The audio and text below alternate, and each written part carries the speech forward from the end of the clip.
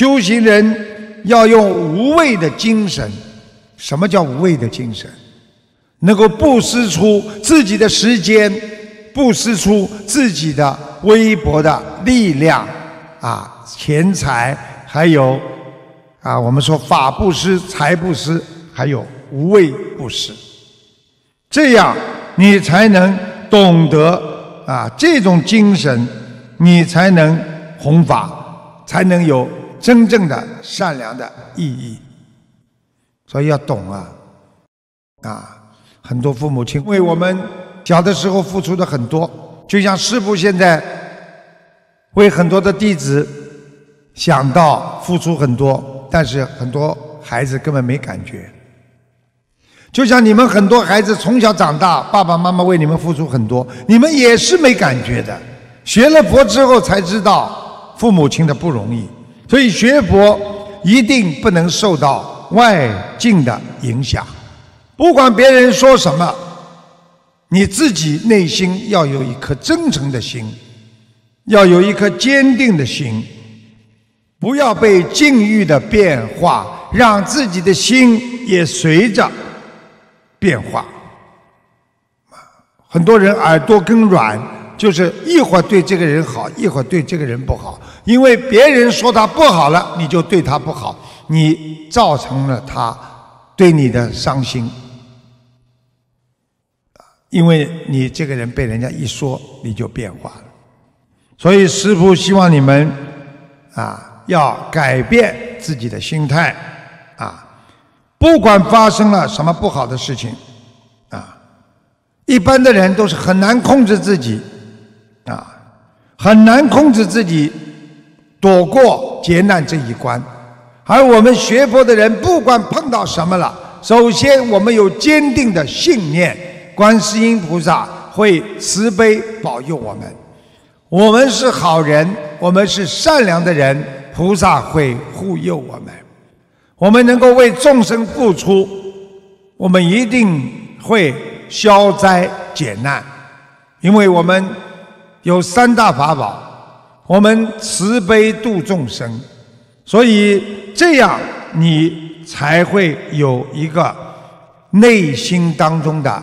啊，平安出现，所以希望大家要关心，观就是观自在观世音菩萨的观，关心就是你经常看看你自己的心啊，你关注下看一看你自己的心啊，你是不是善良人还是一个恶人？你做的这些事情，你的心要看住自己。不要让他看见有利益，马上就忘记了什么叫慈悲；有名誉就忘记了什么叫道德。所以师父让你们要懂得，不要自己内心随着外境而产生变化。这就是师父的座右铭。不管外面有多少的欲望，你要无欲。你要随着自然，就是随缘。你的心静如水呀，啊，不管发生什么，水还是在照样的流淌。所以无欲才能自然，才能心如水呀，所以要平静。不管相处什么，都要处事不惊。有的时候，人有委屈了，有愤恨了，有嫉妒了，这些都是你身体上产生出来的一种毒素，要把这些毒素好好的管控一下。你有时候心一松，毒素就开始侵蚀你的机体。如果你用自己心中的正能量，它就不能进入你的身体，啊，有的时候你让这些嫉妒啊、嗔恨啊、烦恼啊进入了你的内心之后，你会变了一个人。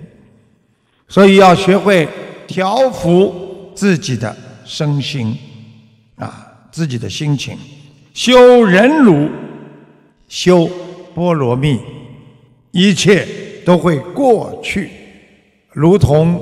啊，过眼云烟，如同沙滩上的脚印一样。